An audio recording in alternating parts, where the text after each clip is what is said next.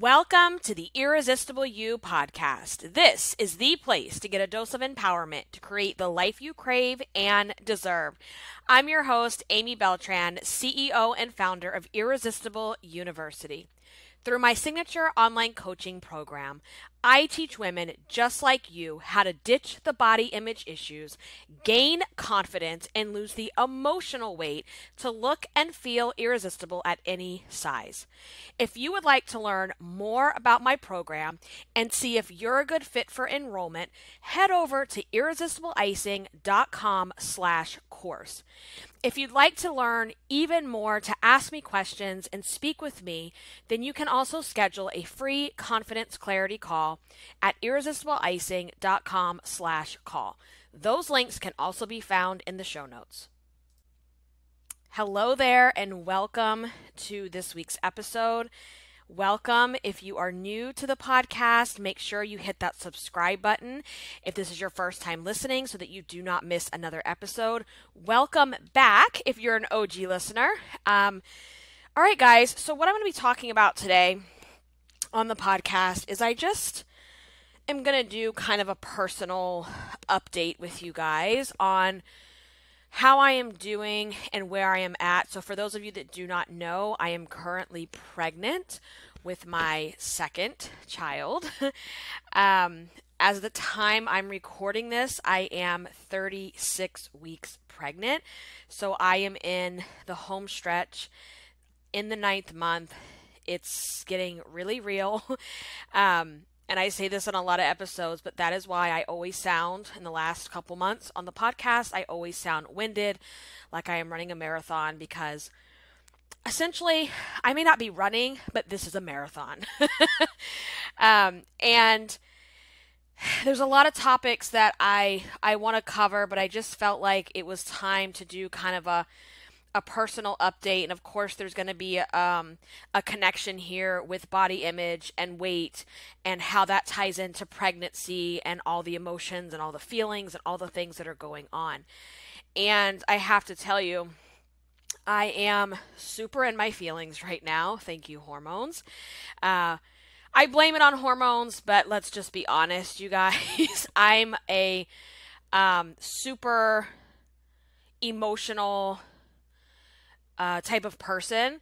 Um, I just I feel things really hard, and I feel things. I feel things very deeply. That's just who I am. I will never make apologies for that. Um, it's just who I am, and uh, I'm really feeling it right now because I'm sitting here in my home office, and my daughter is sleeping, and. Uh, this is the last Sunday night, the last weekend that our little girl will be three. And it's very, very bittersweet. You know, it, it's just bittersweet. What else can I say? It's like you you want to see your children thriving and she's she's thriving and you want to see your kids happy and healthy and growing and you know hitting their milestones and and doing all the things that kids are supposed to do. And part of you know being a parent is helping them to do that and helping them to grow up. But then it's like oh my gosh like she's going to be 4 like 4 years.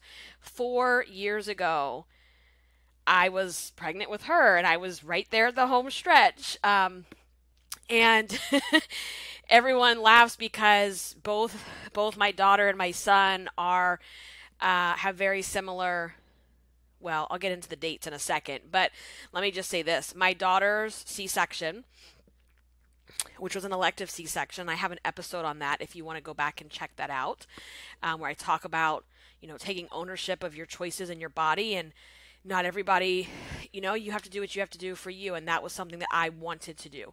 Everybody looks at me like, oh my God, you had a C section. Yes, I chose to have one. um, and you have that option.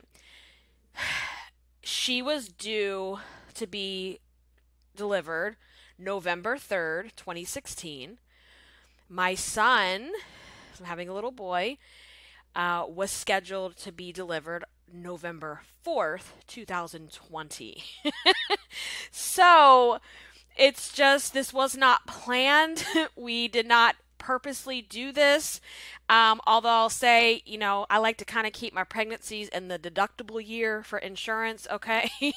but um, we have now, we'll have two little pumpkin Halloween October babies. And October is a very special time in my family because Number one, uh, it's my husband's birthday. So we actually just celebrated my husband's 40th birthday.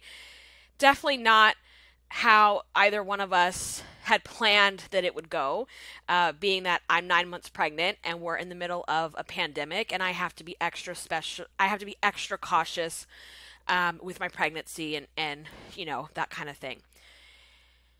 And then my husband and I got married in October. We got married October the 30th, 2010. So this is going to be our 10 year wedding anniversary because we love Halloween.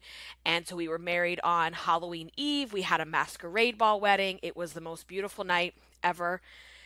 And just so happens, and again, was not planned that way. Um, both of our children were planned, but we didn't intentionally say, okay, they have to be October babies.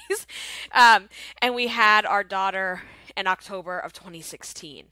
And our son originally was due on 11 11, and he's coming in October. So that's one of the things I want to talk about today because there's not much time left in October, which means there's not much time left in this pregnancy either. and I am feeling it feeling all the things physically. Uh, I have all the emotions that are going through me, and um, there's just a lot on my mind. And so, while there's a lot of topics I'd love to cover, this was just heavy on my heart and heavy on my mind. And I wanted to get this episode out because I just did a YouTube video. So, I've been doing a plus size pregnancy YouTube series on my channel, which I will link in the show notes. And if you're not subscribed to my channel, please make sure that you do that. Um, in addition to that series, I also publish all of the podcast episodes on my channel. Some of those are just audio uh, videos, but some of those I actually do record with the camera. There's also other videos on there. So that link is in the show notes, or you can put Irresistible YOUniversity. That's Y O U. It's a play on words into the search bar and you can find it. Make sure you hit the subscribe button. So I just did a video around updates on my third trimester and some of my symptoms and some of the things I've been going through. And I felt like the video um, was a little bit rushed and I wanted to get into more detail. So I decided, hey, let's just do that today on the podcast. This is a little bit out of the norm of my typical um, topics. Um, I'm saying um a lot because I'm nervous and because I'm just, I'm really a little out of sorts if you can't hear it in my voice, for those of you that are used to listening to me, because I'm getting really nervous. um, I'm just feeling a lot of feelings right now. And one of those is you know, my daughter's birthday, which again, I'm so excited. I'm so happy. She's the biggest blessing in the world. She's the funniest, sweetest, just, she's a firecracker. She's this little ball of energy, and I can't. I just can't even imagine my life without her, and it's hard to even remember life before her. And I'm feeling all kinds of things also because, you know, with my son on the way, literally, um, any day now, which I'll get into in a second. I'm excited. I'm happy. He is so wanted, just like she was so wanted. And I know he's going to complete our family. And we're so anxious and excited to meet him. But there's also and this is where, you know, it's it's hard to explain this, I guess unless you maybe you've been through it. I don't know if you can relate to this, but there's also this like oh my god, how is our family going to change? Right? It's like we've talked about all of this before we even made the decision to have a second. Um, both of our kids, you know, came with a lot of discussions and um, thinking about it before we just, you know, did it. And now that we're down to the wire, it's like I'm I'm sitting here like, oh my gosh, how are things going to change? am I going to have as much time with Catalina and Chewy? Chewy's our Chihuahua, who's also like a baby to us. Um, he's 11 years old, and we've had Chewy since he was six weeks old. So he was literally our first child. I always say first, F U R, like play on words again. And just thinking about how the dynamic will change. And I think, you know, whatever I want to do, I just leave the house and, and Kat I throw her in the car and I'll throw Chewy in the car and we'll go to the park and we'll go do fun stuff and you know we, we go and we just kind of do whatever we want to do when we want to do it and and we don't really work around nap times anymore and we don't have to worry about that kind of stuff. And I had to like check myself because I remember these same feelings of anticipation, excitement, happiness, nervousness, but also anxiety on how our life would change before she was born. Where, you know, Chewy has been there with me. Literally, I spend more time with Chewy than I do any other human being in my life. More than my husband, more than my daughter. he works with me all day long. Um, I would just throw him in the car back then, and him and I would go do stuff together. He went on vacations. He goes on vacations with us. You know, we would travel with him, and he's just a big part of our family. Chewy is not if like if you were to say just a dog to me, like I'm gonna argue and I'm gonna we're gonna fight because he's not just a dog to me.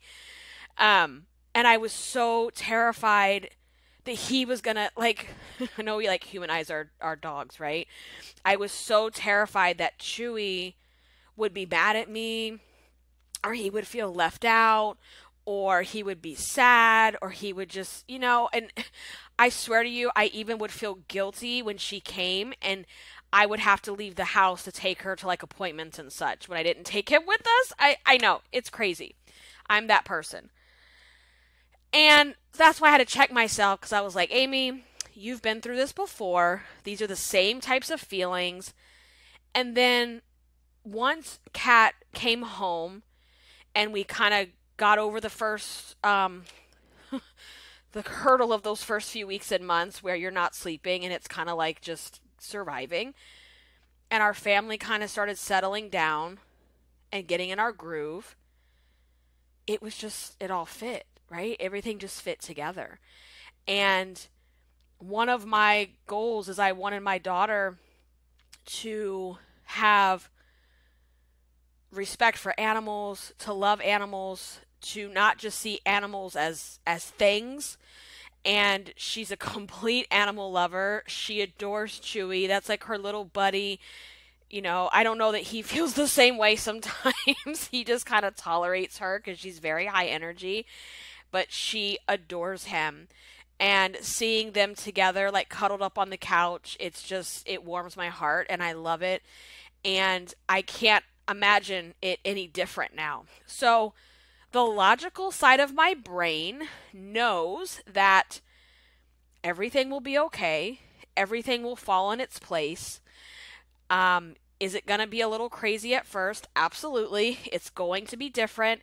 You know, this is a big life change. Even though it's a positive change, it's still a life change, right? You know, there's positive stress and there's negative stress. And, you know, when you're planning a wedding, it's happy, it's exciting, but it's stressful.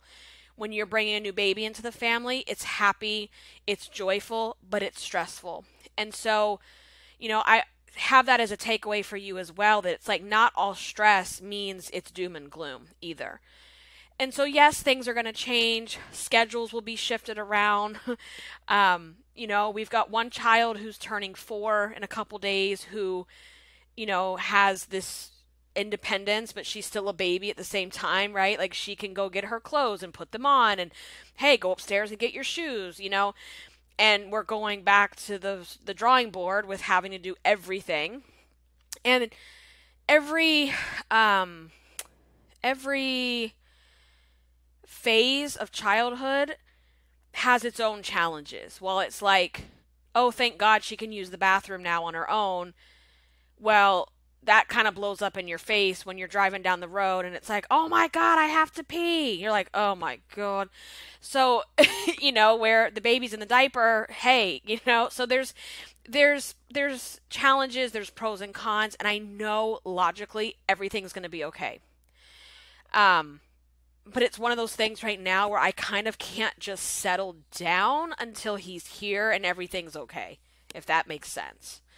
Um, so yeah, so that's kind of where I'm at and where my feelings are and there's a lot going on in October as I just said and so throwing a pregnancy in the mix and trying to be as as best prepared as possible. It's it's like, "Oh my gosh, you have these 9 months which they kind of drag by. I feel like I've been pregnant for two years at this point, but then I also feel like I just found out.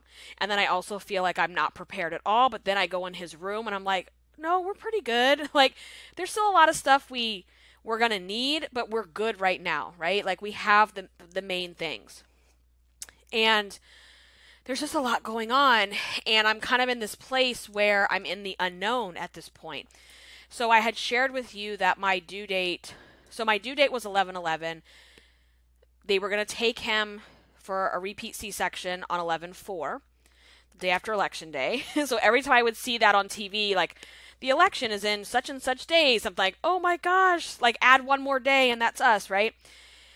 So, as of last week, um, our C section has been bumped to October 28th, which is less than two weeks away at this point. So I was feeling pretty good about that. Um, I'm like, cool, we get another October baby. We love October. Let's just have like one massive party every year to celebrate all of our, like, we have so many milestones in this month. So it's great. And then I got news on Thursday. There's a possibility that it could happen this week. So I'm uneasy because I don't know what's happening right now. And tomorrow, so tomorrow I go to, I have an appointment every single Monday and every single Thursday at this point. I have two appointments a week, sometimes three, and I'll get into that. They, um, I could go in tomorrow and possibly have a baby. That that's a possibility. So um, make sure you're following me on Instagram. I'm at Irresistible Icing. I share all my behind the scenes stuff with the podcast. I also share like my pregnancy updates and just kind of our family personal life. You get some some behind the scenes on that too. So I could possibly have a baby tomorrow. And I'll tell you why in a second. So Thursday was my second trip to the hospital in 2 weeks. I have spent the last two Thursdays at the hospital this pregnancy has been um it's been different in lots of ways but similar like it was very textbook very um you know like the other up until about uh, two months ago. So when I basically hit the third trimester, things started changing a little bit for me, and they're definitely different than my pregnancy with my daughter. And so I shared this in my YouTube video, but I didn't get into a ton of detail, so I figured I could do that on this on this episode. So around 28 weeks, um, they give you a glucose test because they have to see if you test for gestational diabetes. So, for those of you that do not know, gestational diabetes is brought on by pregnancy and it is caused by the hormones in your placenta that are producing too much glucose into your bloodstream. So I had a feeling when I went to take the test that I wasn't going to pass. It was a gut instinct, a gut feeling. I had not been feeling well for a couple of weeks, just really sluggish, fatigued, tired, and that was in the second trimester. In the second trimester, you're supposed to get like this burst of energy again, and I wasn't getting energy. I was depressed, I was fatigued, I had also just moved. We moved to a new house in the middle of the summer. So I figured a lot of my fatigue and such was from the move and just trying to do too much. And I'm sure that was a part of it for sure. So I failed the test. as soon as I got that phone call and I saw it on the, the caller ID, I was like, well, they don't call if you pass. So I definitely failed. And I failed it so hard that they didn't even invite me to do the second test. So normally, If you pa- if you don't pass the 1 hour glucose, they have you come back and do a 3 hour and then look at your numbers and they said at this point we're going to just diagnose you because you were way over what that should have even been. So epic epic fail. When I first got that phone call, um, I felt devastated maybe that's a little dramatic, but it's how I felt. I felt devastated. I felt like a failure. I felt like I failed, that my body failed my baby. I felt like I was a failure. And of course, you know, even all the work I do and that I have done with the emotional weight, of course, my brain immediately went to, well, this is because I'm fat. This is because I'm overweight. This is because of what I ate. I I I could have prevented this and kind of started going into like this pity party of blaming myself and feeling like I just just feeling really let down.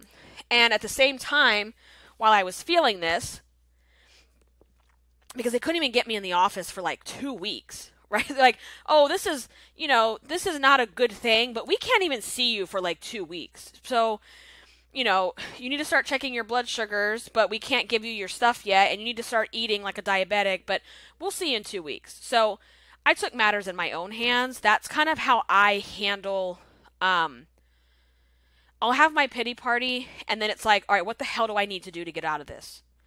And so while I'm like having a pity party, I'm going through my my my refrigerator and my pantry, and I'm like throwing out any junk anything sugary. Any we had just bought like a cheesecake from Trader Joe's. I think I had one slice of it before I found out the news. Just started throwing stuff in the trash, like taking matters in my own hands, taking charge. Okay, I know how to eat clean. I've never had to eat like a diabetic, which is, you know, even more extreme, but I can figure this out and I can control this in the meantime. And that's what I started doing. And I just I'm the type of person that my way of handling a situation is to say, okay, what piece of this do I get to control now? And I like to educate myself. I just immerse myself in videos and podcasts and books and websites and just start like digesting as much information as possible. And so I got a good grip on some changes I could make in my diet because I was eating I was eating a lot more carbs this time around, a lot more sugar than I did last time. I did not I've never had gestational diabetes before. Um, but the doctors and and a lot of the videos tell you this too and you know, I never brought this up to my doctor about me feeling guilty of anything. Like but they kept reassuring me you did not eat your way you cannot eat your way into gestational diabetes. That's not how this works. This is not like type 2 diabetes in the sense that you know, this is coming from your hormones. Like there are people who are, you know, marathon runners and vegans and they eat like perfectly and they're, you know, fit and muscular and you know, all the things and they still get gestational diabetes. So are there risk factors if you're overweight? Yes. Um, are there risk factors in my age? Yes. I am 39, so I'm not a spring chicken having my babies, okay? Um, but it is completely based on the hormones in your body, specifically in the placenta, which is why as soon as you deliver your baby and that placenta comes out of your body, in most cases, the gestational diabetes also goes away. So I do feel better knowing that. Um, but you know, it, sometimes you're going to have a pity party and it's okay. And it's what I tell my clients all the time when they're going through things. I'm like, you're entitled to feel bad for yourself. You're entitled to have a pity party, but your pity party better have a start and an end time. Right? You better put a start and an end time on that baby because where it gets problematic is where you sit in the guilt and the shame and you dwell on and on and on and on and you don't take any action as a result, right? That's what we have to get away from. So I felt bad for about a day and then I was good. Um, and like I said, as I was feeling bad, I was also like completely changing all my diet and the way I was eating and getting my walks in and um, movement and things like that are really good because I wasn't as active this pregnancy as I was the first one. And that's just because I was extra tired, extra fatigued, and a lot of it was like depression and going through this during a pandemic. And I did a video on my YouTube on that as well on the difference of being pregnant in a pandemic and just how it's exhausting and it's isolating and it's lonely and it just it really um I've had to work extra hard at my depression and anxiety this time around. And I'm feeling a lot better on that front. And I will say this, and it's very strange to say this getting a diagnosis of gestational diabetes in a way this sounds so strange and i understand it sounds strange it was kind of like a blessing in disguise because it snapped my ass back to reality of like you you were eating clean before this. Like you know how to eat. You know how to move. You need to be doing those things you know? So it kind of like snapped me back to like my old habits. Um some of my other healthier habits. It got me out of the bed where i was like sleeping way too much. Like I would put my daughter down at night. She goes to bed around 7:30, 8 o'clock, and I couldn't move. I couldn't get out of the bed, and I would lay there for like two hours on my phone, and sometimes I would fall asleep. Where normally, when she goes to bed, I'm like, boom, it's me time. Like, I got stuff to do. I got stuff to do around the house. I got work to catch up on, you know, that kind of stuff. And I wasn't doing that as much because I was just exhausted and I also noticed that around the time all this happened, it was around 28 weeks pregnant. Um, I stopped gaining weight also, which, you know, I talked I've talked about my weight gain a lot in my videos and my podcast and you know, my last pregnancy, I gained 70 pounds. 70 pounds, guys, that's a lot. It's like way more than you're supposed to. And right now, I think I'm around like I, I'm, well. I'll get into this too. Um, I'm teeter tottering between 50 to 55. So I think when all is said and done, I'm going to be around 60 maybe, um, which is interesting because I look bigger, I feel bigger. I'm gained less weight this time, but I also started the pregnancy a little bit like 10 pounds heavier than it's just weird. And ever since I got this diagnosis, I actually had lost weight. I had lost weight. I went down like five or six pounds because I was eating so much better and walking more and, and doing things. And now, though, um, that we're at the end, and I told you I go to the doctor like sometimes two to three times a week, there are times where I will go in on Monday, and on Thursday, I've gone up five pounds. And I go back again on Monday, and I'm down four to five pounds. So right now, I just don't take my weight. Um, I don't want to say seriously, but I don't put a I don't put a lot of weight. pun intended, I guess. I don't put a lot of weight on that because I'm at this point where things are fluctuating a lot, and I'll tell you why in just a second. Um, but I'm at the end, and honestly, like the weight gain hasn't been a big issue for me because I've done the work, number one. And number two, I also know that this is my last baby. I have all the time in the world when he comes to work on my weight loss again, to get my body strong again, to start working out again, to get back where I want to be. And I'm not going to let that make my pregnancy an unhappy time right? It's it's not gonna my weight is not gonna dictate how I feel because I'm pregnant. Like you're supposed to gain weight. And I've accepted the fact that I just have a body that like I'm telling you, like the minute I find out I'm pregnant, I put on like ten pounds. My it's just it's just how I am and it's okay. Um so anyway, that's kind of what I've been dealing with for the past almost what eight weeks now with the gestational diabetes so it's like, hey, you're pregnant in a pandemic. You can't be around a lot of people.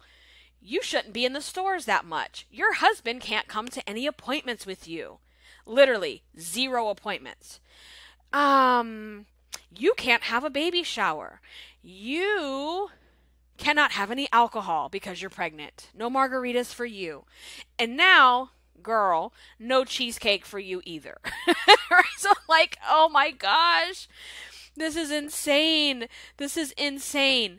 So, you know, I'm lucky in the sense that I know other ways to feel good that I don't have to rely on food and alcohol that are not my sense my my prime source of entertainment if you will. But you know I think the pandemic just has added this unbelievable layer to all of this and mostly just you know my husband never missed one appointment with our daughter.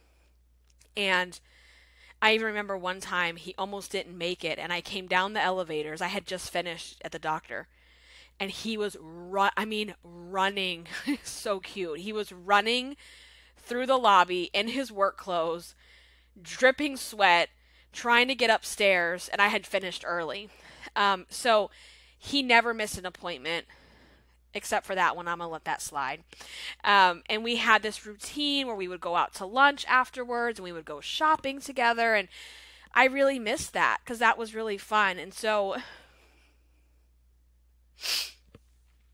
it's been really hard um, to not share that experience together.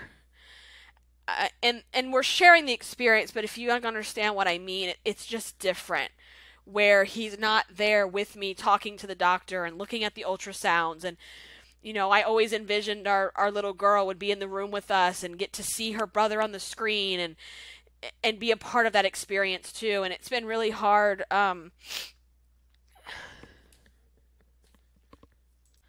there's been days where i pull out of the driveway you know because a lot of my pregnancy was in the summer too right and they would be in the garage getting ready to go in the pool while I was going to go to the doctor and I would just tear up because it feels so isolating. It feels so lonely. Um, even though, I mean, Frank couldn't be a better dad. He's like the best husband, the best dad. I know everyone says that, but God, he really is. Um, and not having that shared experience has been hard on both of us. Um, so, you know, I think it's just this has not been a normal pregnancy in that sense where we're in a global pandemic and I'm not going to put myself in harm's way, you know, to have a few hours of socializing or to have a few like I'm just not willing to do that. right? Um so that's been different. That's been different. I've talked a lot about that, like I said in some of my videos. I did a whole video dedicated to that, and I think there's the it's even in a podcast episode because I convert those to podcasts as well. So, you know, this pregnancy, gestational diabetes, like to the side, there's been extra anxiety around. Oh my God, I'm bringing a baby into this world that's like in turmoil right now. Like, besides the pandemic, look at everything else going on um, anxiety from that, and that leads to me feeling depressed and just overwhelmed, just feeling overwhelmed with with all of that. And I always in and here's the thing, guys. Um, one of my coaches, business coaches, she always talks about living in the and. And I love that because if I sit here and I'm having an emotional moment and I'm talking about anxiety and depression and overwhelm, that doesn't mean that I sit in that 24 hours a day. I can feel anxious and also excited at the same time. I can feel sad about the state of the world, but also grateful and blessed beyond measure to have another child. You know, everybody talks shit about 2020 and how they just want it over and it's the worst year of their life. And I have to be real with you. 2020 has been really good to our family. You know, we moved into a new house that we absolutely love. We are having a second baby. like, there's been a lot of blessings for us where, you know, you can't blame things on a year. I just think that's kind of stupid. And that I say that because the year could have all these crazy things that are out of our control but you can also be happy at the same time for other things going on. Right? We don't have to stay in that state of despair all the time. So I am very open about my story. I'm very open about my journey and what I go through because I know that there's someone out there that can hear this and feel validated, feel like someone gets them. They can feel heard. You can hear yourself in my journey and my story. And sometimes just having someone out there that you can relate to speaks volumes. I think about when I was younger and the things I went through with bullying and body image and my weight struggles. And I think if I would have had someone to relate to, to validate me, that would have been life changing because that didn't exist back then. It just didn't exist. We didn't have these outlets that we have now through social media and the internet. And so that's why I'm willing to always put myself out there and and talk about these things. And it's just been hard. I'm not going to lie. Has it also been happy? Yes. It's been it's been so happy. Like it's so rewarding to see my little daughter like hug my belly and kiss her brother and talk to him and just, you know, th- again, it's like that living in the and. You can feel happy but also scared at the same time. Just like I told you at the beginning of the episode, it's like it's it's living in the bittersweet, right? You're living in the bittersweet where my daughter feels like she's growing so fast and time is slipping through my fingers, but at the same time, I am so grateful that she is thriving and growing and is the happy, healthy girl that she is, right? So it's bittersweet. It's living in the bittersweet. So, that said, um, you know, I I shared a little while ago in the episode that the last two Thursdays in a row, two Thursdays in a row, I have spent at the hospital. Why Thursday? Well, I told you Thursdays I go for my appointment. So, oh yeah. So the gestational diabetes, let me just let me touch on this for a second again. So I have been able to control my blood sugars with diet. So I follow a very high protein, you know, low. You still have to eat quite a bit of carbs, but you're eating, you know, you're not eating sugary carbs and things like that. So, you know, it's basically high protein, lowish carbs, and I have to do uh, glucose testing on my fingers four times a day. So, four times a day, I have to prick my finger, put the little blood on a strip, and check my glucose numbers. And I've been able to control all of my numbers after my meals because you have to take your blood sugar an hour after you eat. So that's another thing that's, you know, as I got used to this, the way I have to eat, taking all the glucose testing, that was also adding to my overwhelm in the very beginning of this diagnosis because it's like one more thing I have to worry about. You know, and I'm trying to like manage it and learn how to do it and it's it's just a lot. It's been a lot. And so I've been able to manage my numbers after my meals so that they're within range, okay? Now, my fasting number, which is the number, so when you wake up in the morning and take your glucose, your blood sugar, um, that number was not where it needs to be. It was running like between 5 to 15 points over what it should be. And that is very, very common because when you're sleeping, your body starts producing these extra hormones um, because you're not eating while you're sleeping. And while you're pregnant, you're getting extra hormones getting produced because the baby's not being fed during that time. So I tried com- like all different combinations of things to eat before bed eating less carbs, eating more carbs, trying different meals, trying different snacks, and it was basically just staying the same. So my doctor recommended, and I, I was like, I really was trying to avoid this. They put me on insulin in the evenings only. So now I'm taking my blood sugar four times a day on my finger. And now I'm also injecting myself every night before bed with insulin. So that's five needles a day, guys. um, it's a lot. It's it it's not now that I'm doing it, it's really not as bad as it sounds. It sounds scarier than it is. But you know, it's just something I have to do. And I know that this is temporary and it's for the best. It's for my baby. It's it's for us to be healthy together and this is what we have to do.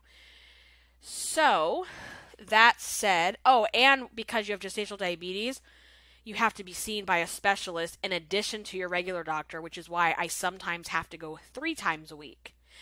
And because I'm on insulin now, I have to go in twice a week to have non-stress test you guys should just see a screenshot of my calendar at the moment. like my calendar is um it, it's just insanity. It's absolute insanity at the moment. like in addition to work, you know, running a business and trying to get things at a really good point um, for me to have a baby and then all these appointments, there's just a lot going on. So anyway, I have to go in twice a week for those stress tests. They put like these monitors on your belly to check the heart rate, to check movement. I also get ultrasounds every week now as well because they have to make sure that we're checking the, the fluid around the baby because one of the complications that can happen is that your amniotic fluid is lower. But right now, everything, knock on wood, thank you God, is okay. The baby's good. He is measuring a little bit ahead um, size wise. uh, but other than that, he is healthy, he's thriving, he's doing good. But there's a high possibility he's got to come out this week, and we're gonna we're gonna find that out tomorrow. So tomorrow I may have a baby. I don't know. I don't know. I'm gonna see what happens. Um, but it might happen this week, which is crazy to me because it's going to be my daughter's birthday. I don't want her birthday to be overshadowed. Um, but you know, when things are out of your control, they're out of your control. So two Thursdays ago, I was in the hospital because I went in for my checkup for my stress test. And the doctor that saw me that day was like, I'm going to go ahead and send you to the hospital. And here's why. I came into my appointment. My blood pressures are always really good, like in the 120s, 120 over 80. They're usually perfect. My blood pressure was running high. My feet and my hands were unbelievably swollen. Unbelievably swollen. I had gone up five or six pounds in like two days from all the swelling. Um, I had lots of headaches, blurry vision, and all of those are signs of possible preeclampsia setting in. Now, my daughter came early for the same reason. I had gone in, my pressures were going up, the swelling was beginning, and my doctor was like, You're having a baby today. like, oh my gosh. So I'm starting to experience that again. So I've been monitoring now also my blood pressures at home, and I'm feeling better. Um, definitely, I've actually been feeling better the last couple days, actually, like a lot better as far as the headaches and the swelling and everything like that. But it does come and go. Um, it, it comes and goes. If I stand up too long, I'm swollen. If I sit down too long, I'm swollen. I can't get comfortable when I sleep. It's just a hot mess right now. So they sent me to the hospital to get further lab work and to um, keep me on monitors for my blood pressure to see if everything. And they're like, I don't think you're going to deliver tonight, but there is a possibility. But anyway, I got sent home. Everything was okay. My pressures went down. Um, my lab work was perfect. Everything was good. So then I went in this Thursday that passed, and they were having issues mostly with the machines on the stress test, so they weren't getting the right readings, which means they can't technically send me home because they weren't getting the readings that they needed. So, like, we're going to go ahead and send you over to the hospital, which thankfully was right next door. And it was just, I would think I was only there like 30 minutes. It was very quick because they have better machines and whatnot. So, anyway, when I went to my appointment on Thursday, though, the doctor that I saw, because um, I didn't see my normal OB, she said, I really think you need to have this baby next week because you're on insulin now and you know your your pressures have been going up and I just you know I think it's just best. Like he's now considered full term as of this coming week um so there's really no risk as far as that's concerned because that was the concern prior to this so, anyway, she was supposed to talk to my doctor. I'll see what's going on this week. and I'm just kind of living in limbo. I'm living in limbo right now. Where like I have a new scheduled C-section, but I also have it in the back of my mind that at any given point that you go in this week, they could tell you, okay, let's just go ahead and do this. So my hospital bag has been packed for over a month anyway. And I'm just really making sure everything is there that I need. Um, you know, we're just, I keep telling my husband, I was like, you better pack your bag. You better have everything ready to go. So that's just kind of where we're at right now, is just, um, it's very anxiety inducing because I like to have a plan. I like to know what's happening. And right now, that's out of my control. And that's what I have to accept. And I am accepting it because if I sit here and I dwell and I stress and I freak out, that's not helping me. It's not helping the baby. It's not helping the situation to change. It's not doing anything productive. And I, I will have these moments like I'll wake up in the middle of the night panicked like, I'm not ready for this. I'm not prepared. Oh. And I don't care how much you prepare, you're never prepared, if that makes sense. Like, you're just not prepared because every baby's different. And, you know, there's really no amount of preparation for that moment right before that baby comes out. There just isn't. And so I think for me, it's just living in the unknowns right now, having that anxiety, and also having that kind of sadness or like the grieving of our family dynamic changing, even though I know things are going to be so much better and they're going to be so worth it once he's here. Um, our lives are changing and they're changing for the better, but that's still, again, there's positive stress too, right? There's still that positive stress. And you know i don't know what this is going to be like and you sit there and you're like oh my gosh how am i going to do this with a um, a preschooler and a baby and a business and this and that and it's like here's what i know okay and this is how i find comfort i had the same feelings before catalina was born before she was born i was working full-time from home because i have worked from home now for 10 years i was working full-time from home as a director of education for an influencer network and running my business on the side. I didn't have the podcast yet. I wasn't running the program the way I am today. Um, it was very different, but I had my side business. I had my side hustle plus my full time job, which, being the director of education, I had a lot on my plate, right? I had a set schedule. I had a pretty intensive job at the time um, even though I was at home and I had that flexibility. And I just remember thinking, oh my God, how am I going to do this? How am I going to be a working mom? One of my goals in life is I never wanted to put my kids in daycare. Never. I don't knock anyone. I think you have to do what you have to do. But for me personally, one of my goals was I don't ever want to put my kids in daycare. That's just something I don't want to have to do. I want to be there. I want to be there for the milestones. I want to be present. I want to be around. But holy shit, how am I going to do this? Working a full time director level job, plus having a side business, plus having a baby, I'm going to fall apart. And I don't know sometimes. I think the more you try to tightly hold on to something and control it, the less control you have because you just don't know until you're in it. And I don't know how, but somehow, and my husband and I, you know, he works as well, we're a great team. And somehow we have just pivoted and made it work. You know, he has changed schedules several times throughout all of that. My daughter was born in 2016. Um, by spring of 2018, I actually got laid off because our the company I worked for dissolved due to corporate mergers and such. And then I was on my own full time, running my side hustle is now a full time business.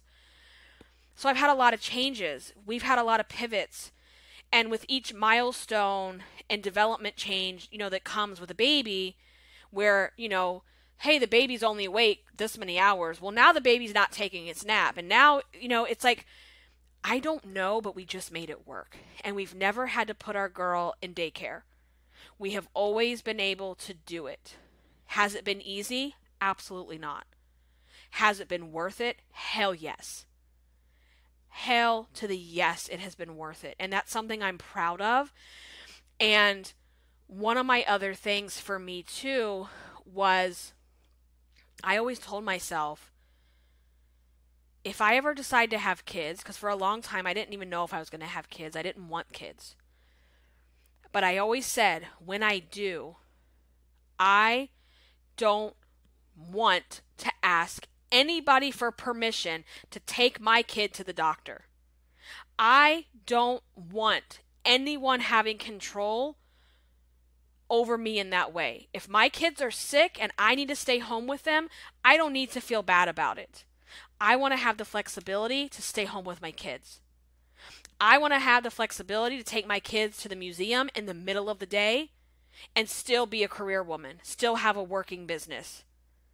That was something to me that I am so it's like a core value for me, right? Like it's so important to me to have that autonomy and to be able to decide that today my daughter just needs me and I need to be mom and I have to turn everything else off for the day.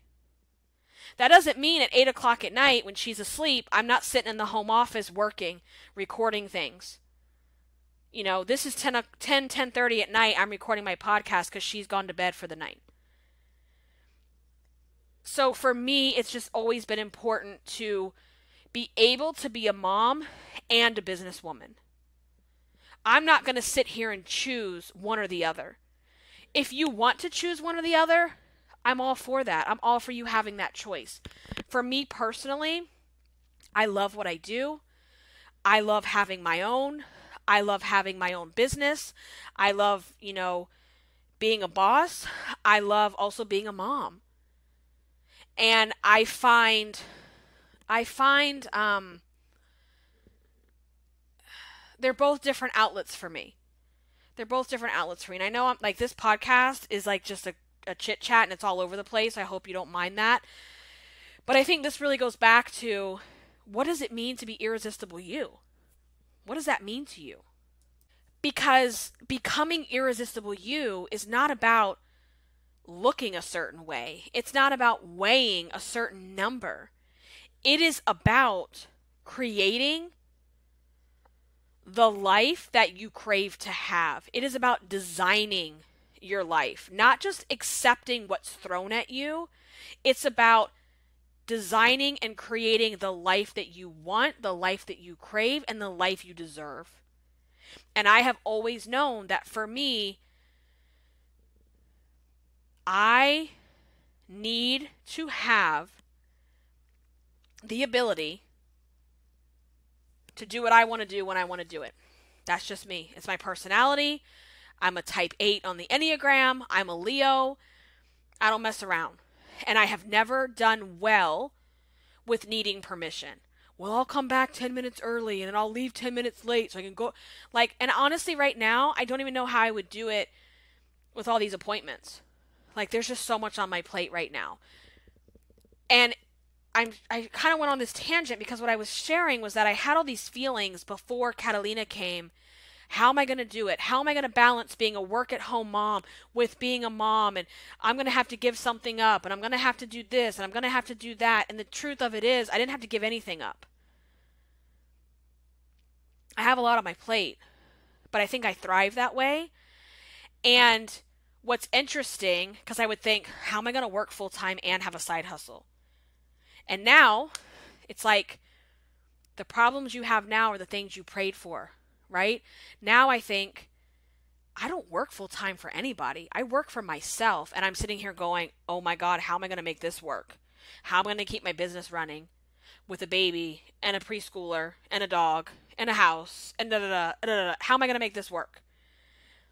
And I have faith that I can't worry about it because somehow it always works itself out.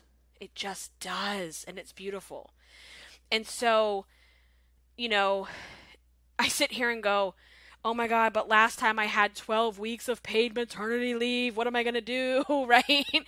And what was so interesting is when I had my maternity leave with the old, with my old company that I worked for, you know, it's still not your full pay. And I was tripping about that. How am I going to make that work? And listen, sometimes the more we stress, the more we try to just grip it so hard and, and, and, and worry it, worry about it the more stressful it becomes. And so I just kind of surrender and I let things go. It doesn't mean I don't have a plan. You can't just do that. I have a plan. I have things in place. We've set up systems and automations and we have things that are going to be happening for my clients and everything is is where it needs to be. Right? Um and sometimes you just kind of have to surrender to the process and know that you have what it takes to make things work and you'll make the right decisions in the moment when you need to make them. So it's like this balance of like plan what you can plan, prepare for what you can prepare, and the rest of it you've got to surrender to it. And know that you'll be able to get through it. Because you will. Because you will. And the thing with with motherhood and bringing a new baby into the house, everything is a phase nothing lasts. I mean, here I am like crying about my girl turning 4, right? and I remember a couple days of being home. She was home maybe a couple days and I just sat on the couch and I cried because it was almost bedtime. And Frank's like, What's wrong? And I'm like, I don't want to go to bed. I hate bedtime. It's horrible. We're going to be up in two hours and then another two hours and another two hours and I'm never going to sleep again. Oh! And just all the dramatics were coming out. Um, you know, baby blues and hormones are just not, not cool. anyway, he's like, Babe, he's like, This is temporary. This is temporary. It's not always going to feel like this. I'm like, Oh, yeah, you're right.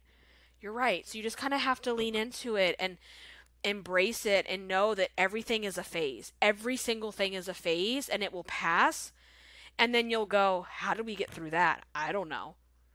I don't know. If I it wasn't for pictures and videos, I don't remember the first couple months. I don't remember it. It's like a blur. It's a blur cuz you're sleep deprived and you're, you know, and so then in a lot of ways too, I I feel much more at ease because I'm like I've done this before. I'm not worried about every little thing. You know, oh my god, I got to wash all the clothes before that put on the baby and all that kind of crap. I'm like, you know what? It's fine. It's like the commercial where the lady drops the bottle or the the passy or something uh, with the first baby, and she's like disinfecting it and cleaning it and getting a new one. And the second baby, she just wipes it on her shirt and goes this kind of is what it is, right? um, so so there's that, and there's just the anxiety too of like, what will this look like with, you know, um, with my daughter? It was like, excuse me, we just we were, we were on the go because I refused to stop living my life because I had a baby. I'm like, I'm not going to be sitting at home miserable just because I have a baby. Because I would hear these moms like, I don't get to go anywhere and I don't get to take showers. I'm sorry. You have time to take a shower. That is a choice. You know, are there days where it's absolutely hectic? Yes, but not taking care of yourself, that is not okay for me.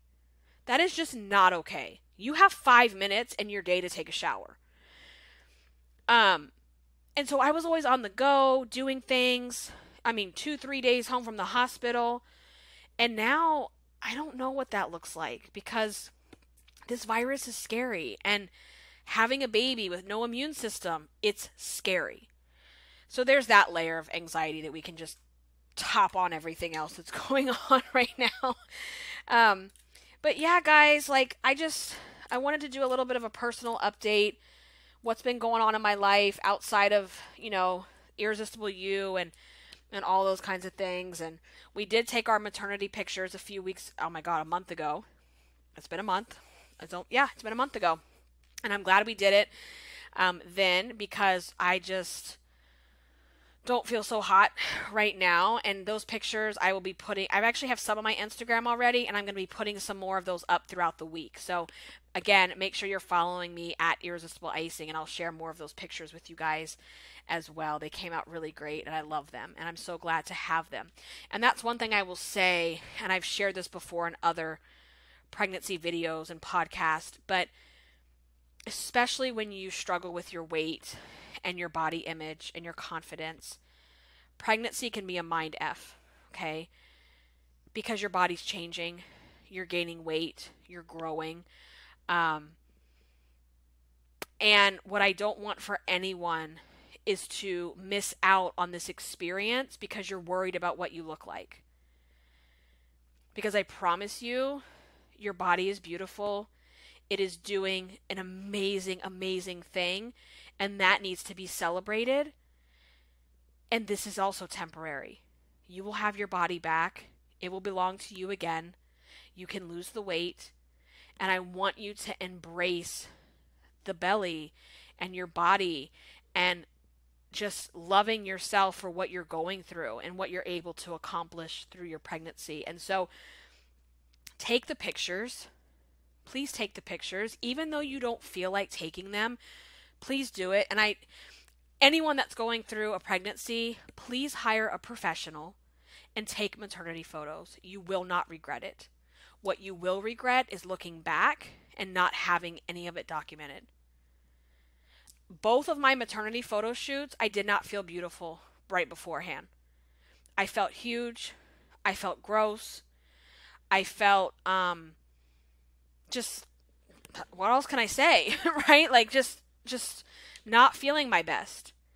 And now I look at pictures from both pregnancies and I love them and they're beautiful and that's just meeting yourself where you are, right? You're meeting yourself where you are and you're embracing this is where I am. This is the body that I have and look what my body is able to do and you have these memories that you can share with your kids and that's what I plan on doing. And my daughter, to this day, she's always going and getting her maternity photos and looking at them, and she loves it. So, anyway, that's all the stuff going on in my life at the moment. So, um, again, keep up with me on Instagram. That's where you'll probably find out first if I'm in the hospital or not this week. We shall see what will happen. Um, and I'm going to just keep doing what I can do to take care of myself. And the podcast is not going anywhere. We have a lot of episodes that are pre recorded that are going to be going up every single week. So that will not change. Um, I will still be, you know, active on social media. I may not be as active for a week or so, understandably so. And for all of my clients that are inside of my program, I will be sharing with you this week exactly what our plans are and how things are going to look um, over the next couple of weeks, depending on when the baby comes. But I, if anything, you're getting even more from me over the next couple of weeks. So we'll be talking about that soon. So let's continue this conversation inside of the podcast discussion group. You can go over to Facebook, type in Irresistible You Podcast, and join the group. The link is also in the show notes. Again, the best place to reach me on a daily basis is always Instagram. I love Instagram. I do a lot of stories. I'm always over there. Um, and it's more in the moment type stuff. So I hope this was helpful. Maybe it was, maybe it wasn't. I know it was a little bit all over the place, just having a chit chat about um, where I'm at and where I'm at in my pregnancy and, and what's happening. So, just send me good vibes. Send me all the good vibes my way. I appreciate it. I love you guys. Thank you so much for listening. Until the next one, stay irresistible. Bye, guys.